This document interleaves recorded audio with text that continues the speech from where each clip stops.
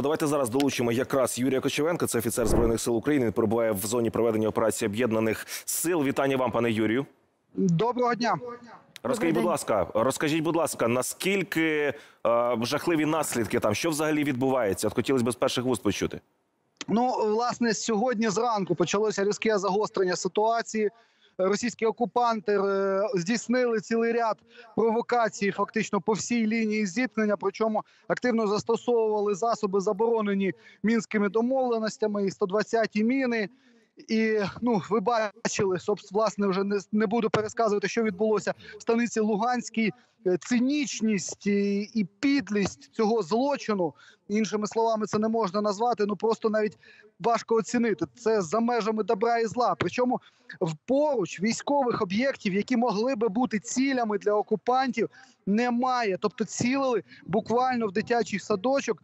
І е, наслідки, які це мало, зокрема, те, що почала поширювати російська про- пропаганда, демонструвала, що це була спланована операція, тому що потім Україну звинувачували, що нібито Україна е, завдала артилерійського удару по дитячому садочку на території так званої ЛНР.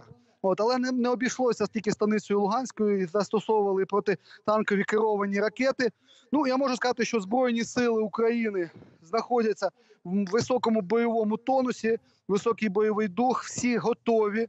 Укомплектовані і боєкомплектом і пальним, і готові виконати будь-яке завдання держави, але поки що залишаються на своїх позиціях і дотримуються перемир'я. Е, Пане Кочевенко, ви самі говорите про те, що е, нині бойовики намагаються скинути ось цей обстріл дитячого садка на українську сторону. Розкажіть, наскільки точно можна е, визначити, з якого боку вівся обстріл? І просто тут також була заява і реакція президента України, в якій він сказав: цитую: Україні потрібен дієвий механізм фіксації порушень режиму припинення вогню. А у нас за вісім років його досі немає.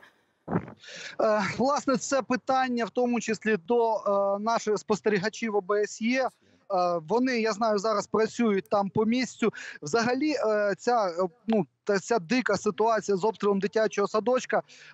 Там вона продемонструвала з одного боку, як я вже сказав, цинічність окупантів, з іншого боку, високу. Здатність наших військових захищати цивільне населення, тому що першими, хто з'явився в цьому дитячому садочку, були наші бойові медики, які евакуювали всіх, хто там знаходився, і дітей, і персонал, надали першу домедичну допомогу постраждалим е, працівникам, вихователям. Я нагадаю, три жінки зазнали контузій і швидко евакуювали е, їх до, до медичного закладу. Е, Зараз, ну тобто, знаєте, там є речі, які є очевидними для всього світу. І е, технічна фіксація, вона напевно звичайно потрібна, але вона не допоможе, коли вся російська пропаганда бреше як один. Ми маємо просто ну мати свій гучний голос в світі. Мені зараз е, мої е, колеги з Норвегії, з Грузії, з Литви, з Сполучених Штатів просто масово скидають е, е, скріни з фейками, які поширюють зараз російські пропагандисти по всьому світу, звинувачуючи Україну фактично в початку наступу на Донбасі. Зокрема, грузинські колеги зазначають, що саме так почалася війна 2008 року в Грузії, так саме з такої провокації. Е, Ну саме тут е, і ми працюємо для того, аби обезпечити інформаційно українське суспільство і розвінчувати ось такі фейки, пане Юрію. Скажіть, будь ласка, ще до вас одне запитання: з чим у ЗСУ пов'язують ось таку раптову високу активність зі сторони ворога? Я хочу сказати, що для нас це не є раптовою активністю. І е, один з сценаріїв, який зокрема відпрацьовувався вищим військовим керівництвом. е, Розв'язання повномасштабної російської агресії він передбачав от такі провокації власне в зоні операції об'єднаних сил, які викрутить російська пропаганда, а потім використає як ну нібито привід для застосування збройних сил своїх уже відкрито. Тому весь цей період всіх цих тривожних новин збройні сили знаходились в постійній підвищеній бойовій готовності, і саме з цим я думаю пов'язаний ще й той факт, що ми не маємо, слава Богу, станом на зараз е, втрат серед особового складу збройних сил.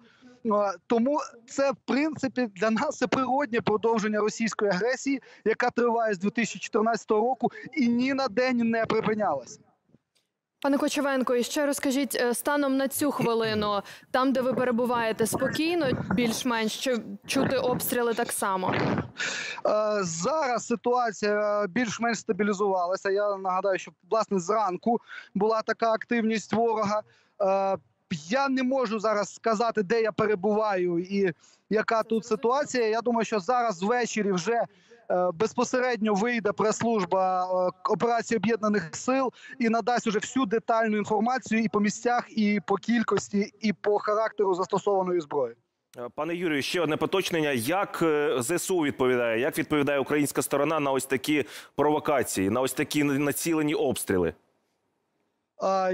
Я ще тут я не я не, не готовий коментувати. В той втім, в тому місці, де я знаходжуся, ми наші підрозділи дотримуються перемир'я. Вже деталі по наданню вогню у відповідь. Я думаю, що краще запитати у прес-служби операції об'єднаних сил. Зрозуміло, абсолютно. Спасибі величезне за е, оновлену інформацію. Дякуємо дуже, пане Юрію. Я впевнений, що ще будемо з вами зв'язуватись. Дякуємо, що вийшли на зв'язок. Бережіть до нас. себе. Спасибі за вашу Да. позицію, за те, що ви там. Юрій Кочевенко, офіцер збройних сил України, і нині він перебуває у зоні проведення операції об'єднаних сил. Дякуємо.